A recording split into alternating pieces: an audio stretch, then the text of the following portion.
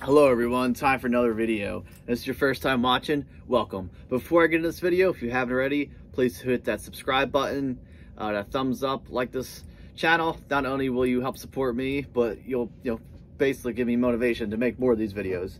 Um, I haven't made as many videos as I usually do. I know I always mention this. Getting back into it. Uh, I got a lot of things going on. Uh, a couple videos coming up. Anyway, this video don't expect uh, to get a lot of likes on this, only because it's um, it's a genre of uh, hard rock or metal that a lot of people don't like, which is nu metal.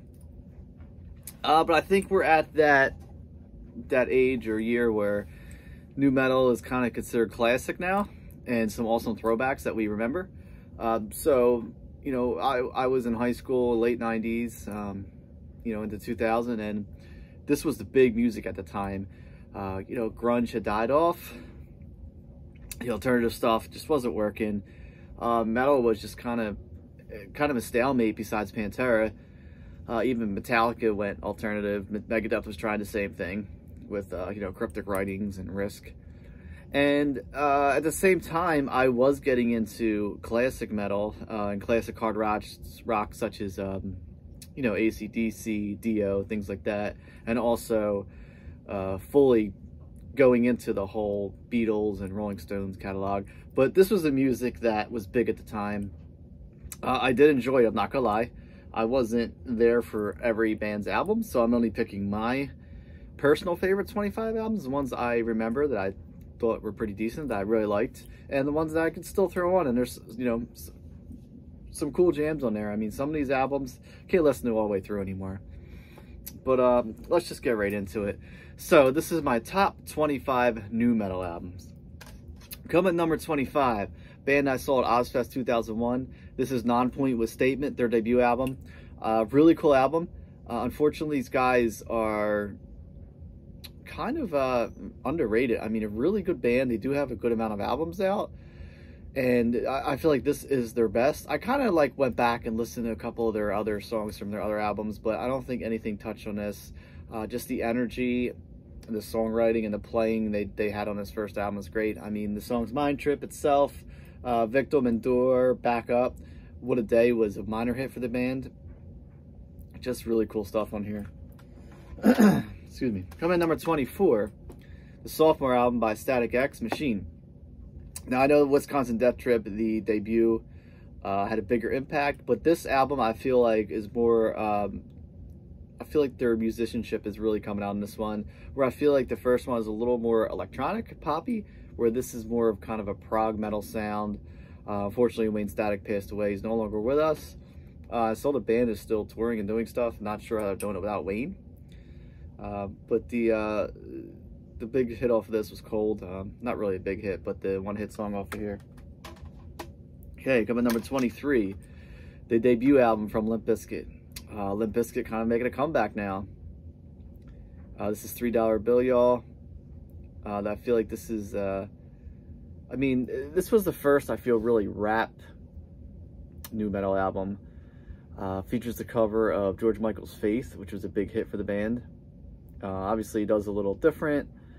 Um, kind of start moshing towards the end of it. Uh, Counterfeit's another decent song off of here. Not as good, I feel like, as the albums that will come after this, but still a uh, decent album for Limp Bizkit. Coming in at number, where we at? Number 22. Life is Peachy, the sophomore album by Korn. Uh, Korn you know, came out of nowhere with a truly distinctive sound that no one else really has. Uh, I feel like there's this, there's this band, uh, Kaosphere, out now, I think, uh, that try to sound just like Korn. Not a terrible band, but I feel like they gotta find their own sound. Uh, so it features a cover of Ice Cube's Wicked, featuring um, Chino Moreno from Deftones, uh, Adidas was the kind of minor hit off of here. Another cover of War's the Lowrider, which features Head, the guitarist, on vocals. Okay, coming number 21. It's the second album by Sevendust. This is Home.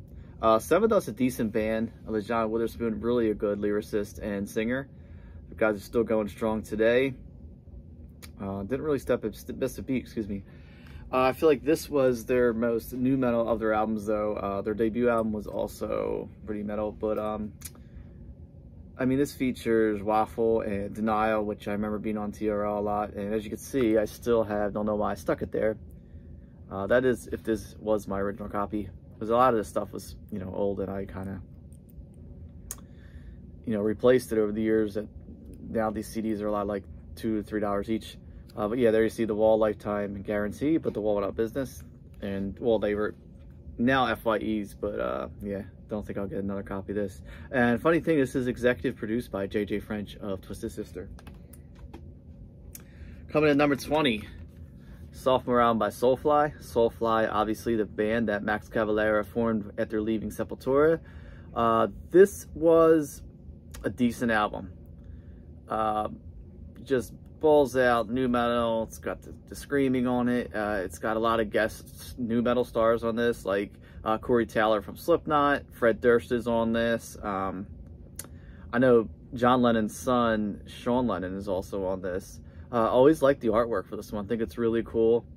Uh, dude, it's really cool songs on this. It's got that Brazilian tribal beat with it also. That Max basically um, started with Sepultura's roots and, you know, left to form Soulfly, which he fully went nu metal with. Come at number 19, Staind Dysfunction. Uh, this is the major label debut, but also the sophomore album from Staind. Um, the song Mudshovel is awesome. I, I could still throw it on this day. I just, when I'm in the car, I just really turn it up loud. Uh, Just Go Home, two other songs off of here. Raw is just all out. And uh, yes, this is just Staind at their, their heaviest. Uh, I know the next album, Break the Cycle, and it would have more, you know, alternative, you know, rock hits, but uh, this one is when they were definitely at their heaviest. Coming number 18, Mudvayne LD50. Uh, Mudvayne recently got back together, but unfortunately, I don't think they they canceled their tour or something like that. Uh, Dig is just insane. I mean, these guys were uh, face paint, definitely different from Slipknot today. You know, Slipknot were the masks. Uh, Nothing to Gein, song about Ed Gein on here is great. Uh, Death Blooms is one of my favorite songs by Mudvayne. It's really, really good. Also, Prod on here is really decent. And coming at number 17, I dropped, but it's volume three, The Subliminal Verses by Slipknot. I know a lot of people think this is Slipknot's best album. I'm sure a lot of people disagree with me having it number 17, but I feel like their album's better than this. Uh, there are some decent songs on here. I just feel like it's too, um, I don't want to say poppy, but it's too radio friendly for me. Uh, uh, duality, I, I, don't really need to hear that anymore. It's become like a meme now. uh, Vermilion, Before I Forget, is, you know, definitely just a radio song. I just like the uh, Balls Out, you know, Slipknot that would scared you to death when they first were, you know, coming out along that. Okay, come on number 16. POD, Satellite. This is the uh, limited edition CD, which comes with a DVD. Uh, basically, it's just some live stuff on there and uh, behind the scenes of making of the album. Uh, there's some cool songs on this. Uh, Set It Off is cool. Alive, it's a big hit for them. Boom was another hit. Youth of the Nation was a huge hit. I really liked that song when it came out. Uh, the song Satellite, also another one off of here. Um, after that, this is one of those albums that I can't listen all the way through. Um, but all over, it's, it's decent. Uh, where are we at? We're at number 15, I believe.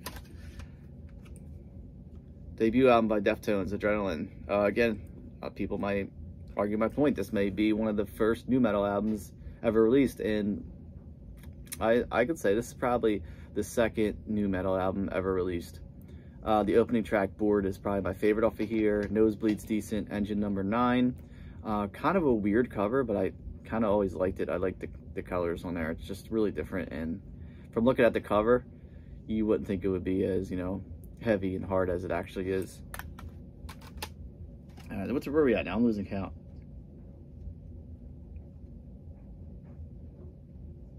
All right, now we're on 14. 14, Limp Bizkit chocolate starfish and the hot dog flavored water.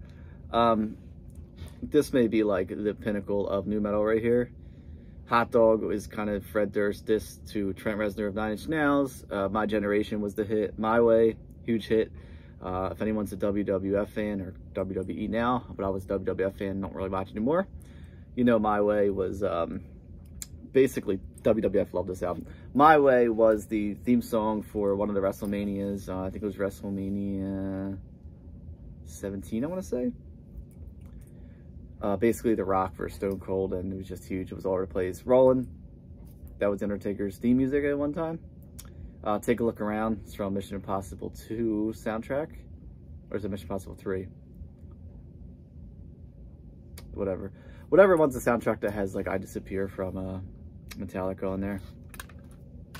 All right, number 13.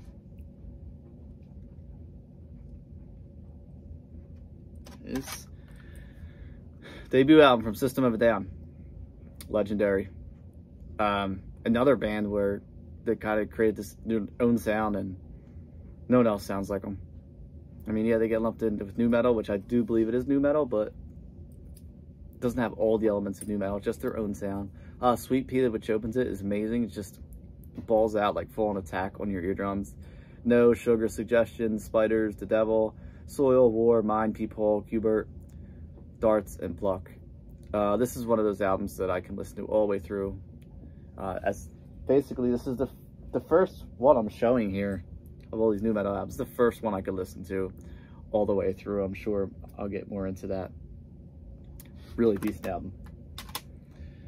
Coming next, Issues by Korn. A lot of people didn't like this. I think it's a very strong album by Korn. I believe this is the last decent album Korn put out. Uh, I remember TRL on MTV, which they only play video music. video music. Mu you know what I'm trying to say. They don't play music videos anymore. So this is um, basically they had a fan contest for someone to draw the um, cover, and this was the winner. And I, I think this was my favorite of all of them. And inside, I'm gonna roll out. There is the four finalists. Uh, I always did like this one the best, and then that one, and then going over, I thought this one's pretty cool, and this one I just didn't get. I don't know why it won.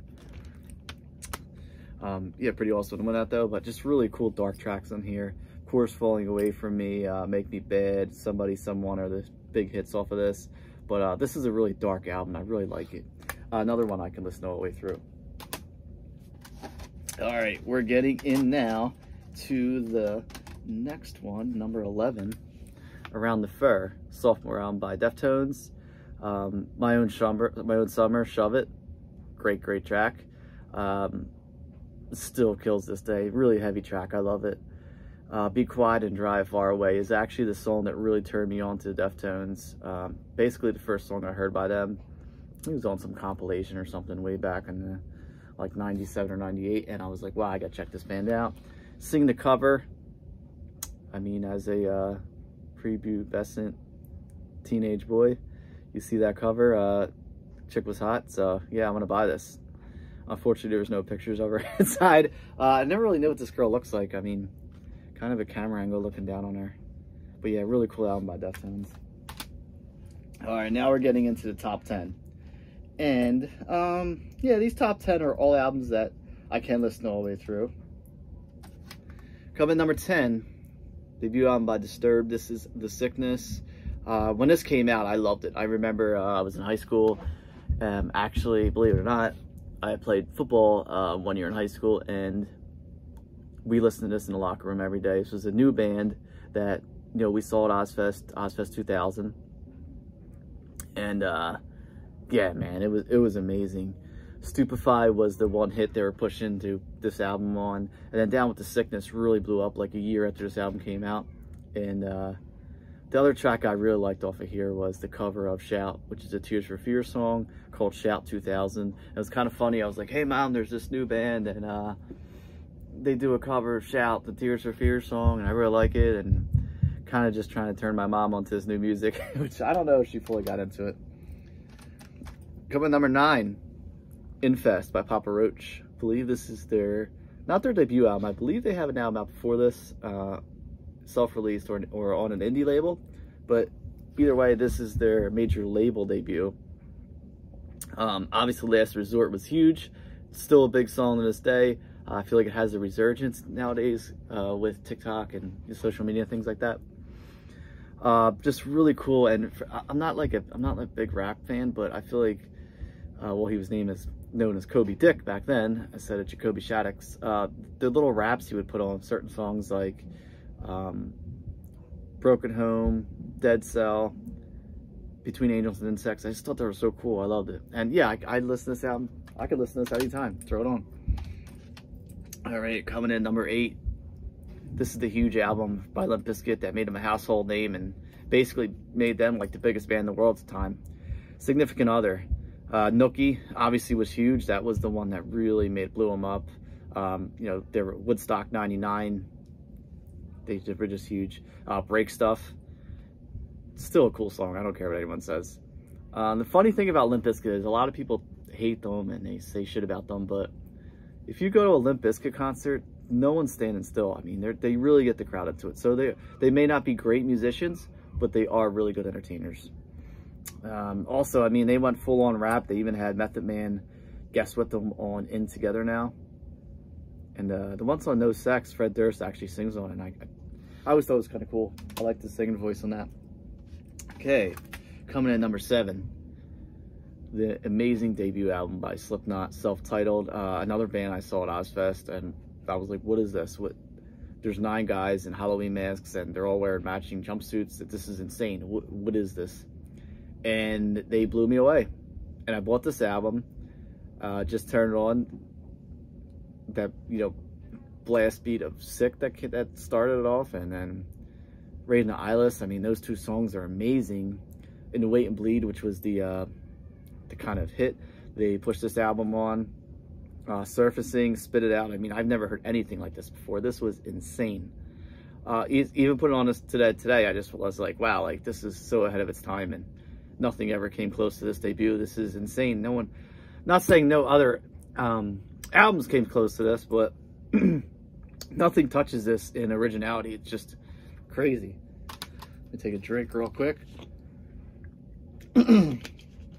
oh, excuse me. Coming number six, Follow the Leader. Um, the big album for Korn that really broke them through onto MTV uh, with Freak on a Leash, and you know that won all kind of different movie music awards and things like that. Um, video music awards, not movie music awards. Uh, Got the Life was the first single off of here, but Freak on a Leash was the one that really blew them up. Uh, again, full on rap on here. They have a duet with Ice Cube. Called Children of the Korn, uh, Dead Bodies Everywhere. The intro to that song I thought was always really cool. And there's also a uh, duet with Fred Durst called All in the Family. And Korn is actually the band that helped get Limp Bizkit signed, so you can blame Korn for that. For those who hate Limp Bizkit. All right, now we're getting to top five. Top five is a band I really don't like, but I gotta admit, their debut album was really decent. Hybrid Theory by Linkin Park.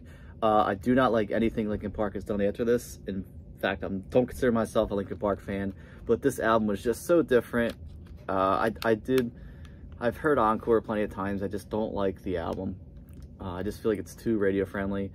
This, uh, One Step Closer was the song that came out. I hate that shut up and I'm talking to you thing. But besides that part, uh, they piqued my interest with the song. Um, with You is amazing.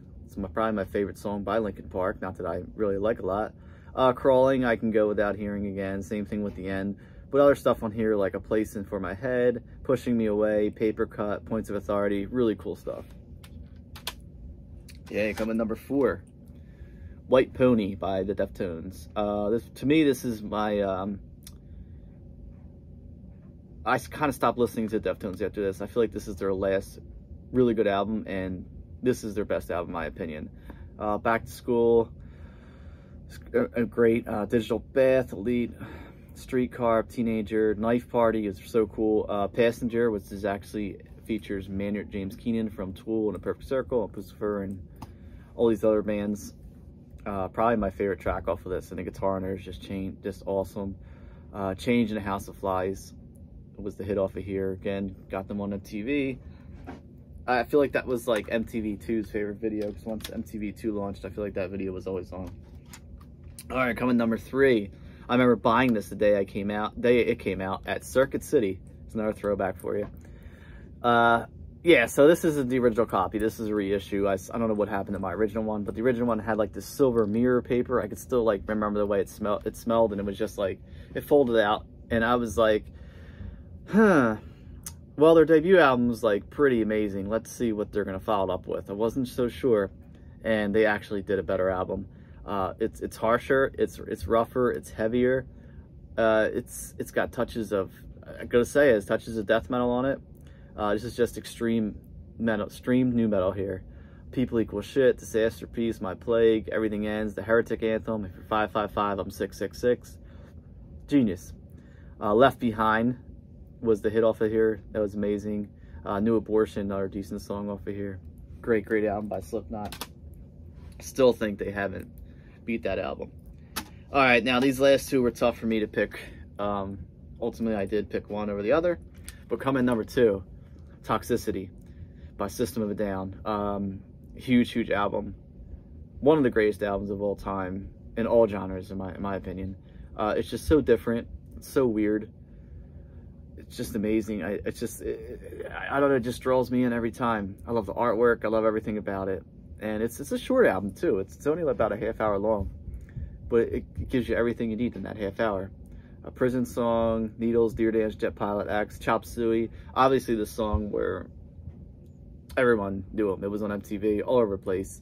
Um, I remember people in school that didn't even listen to like hard rock or metal. People listen to rap and, you know, um, R&B and stuff like that. Like, oh, that band, I like that band. That Chop Suey song, them guys are crazy. Hey, found an audience with that. Uh, Bounce, where he sings about his pogo stick, but it's a cool song. Uh, obviously, the title track, Toxicity, is amazing, and Aerials, which ends it, is another hit off of here. All right, coming to number one. Uh, this was a little tough for me to choose between, literally between Iowa, Toxicity, and this album. Uh, ultimately, with this one because, in my opinion, it is the first ever nu metal album, and by the fathers of nu metal, and I'm sure everyone knows what I'm talking about right now. The self-titled debut by Korn. I mean, it's got the creepy photo there. This is unlike anything that came before it, uh, it wasn't full-on metal. It definitely grabbed the metal crowd. Um, you got the alternative crowd going into it. It just was totally different. Uh, Fieldy's bass was just added this different sound that no one's really heard before. And I mean, you got these down-tuned seven-string guitars.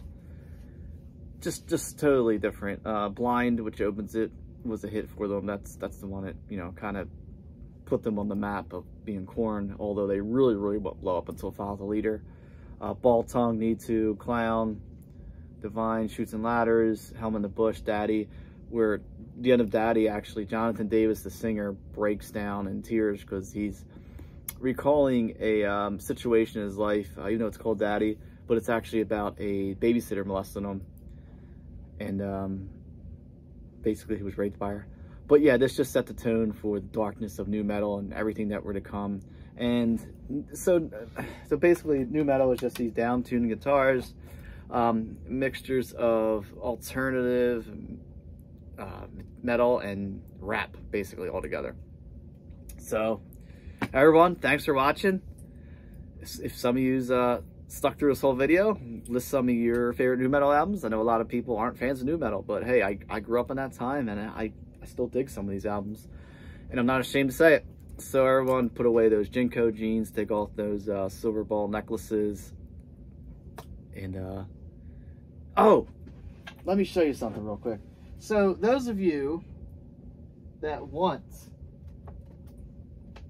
to check some of this stuff out, I highly recommend these two albums. I meant to pull these out earlier. Ozzfest, which was basically the tour that uh, everyone knows what Ozzfest is. I'm not going to get into it, but basically it was to display the uh, nu metal bands at the time and kind of get them out there. Uh, you know, you're playing with Ozzy, so you're gonna get there. So this one is Ozzfest Live 2000, uh, second stage live. Features bands like Disturbed, Kittie, uh, Queens of the Stone Age, Taproot, Soulfly, uh, Primer 55's on here. So basically all these bands were unknown at the time. And it also features a second disc, which at the time was Ozzfest 95, I want to say, or 96. I'm to say 90s, Ozzfest 96. Uh, which was out of print at the time, but also it features bands which one heard of at the time, Coal Chamber, Powerman 5000, Fear Factory, uh, Sepultura, ending it with Max Cavalera, and then also features Slayer on and Angel Death. And this one, which is pretty awesome too, this is the second Millennium, it's called. Ozzfest 2001 Live. I was actually at this show. Uh, basically, let me just read this this lineup here. This is just nu metal and metal at the time. So we got Black Sabbath doing The Wizard. They reunited. They were the headliners in the show. Marilyn Manson, Slipknot, Papa Roach, Linkin Park, Black Label Society, Disturbed, Mudvayne, Drowning Pool, Union Underground, OTEP, Nonpoint, Hatebreed, Systematic, Pure Rubbish, and American Head Charge. So obviously Black Sabbath, Manson, um, them guys are obviously known. Papa Roach was, you know, riding off the success of Infest. Same thing with Linkin Park and Disturbed. They're riding off the success of their debut albums. But all these other bands that are heard for the first time, including Drowning Pool, doing bodies on here. So yeah, these are really cool live albums. So I recommend picking these up or, you know, I don't know if you can find these on Spotify or wherever. I don't really look on there. But if you can, check them out. It's definitely um, a cool reminder of the nu metal days. And yeah, I mean, the songs that they picked on here are pretty decent. All right, everyone. Thanks again for watching. Uh, like, once again, if you haven't already, please hit that subscribe button. You help support my channel.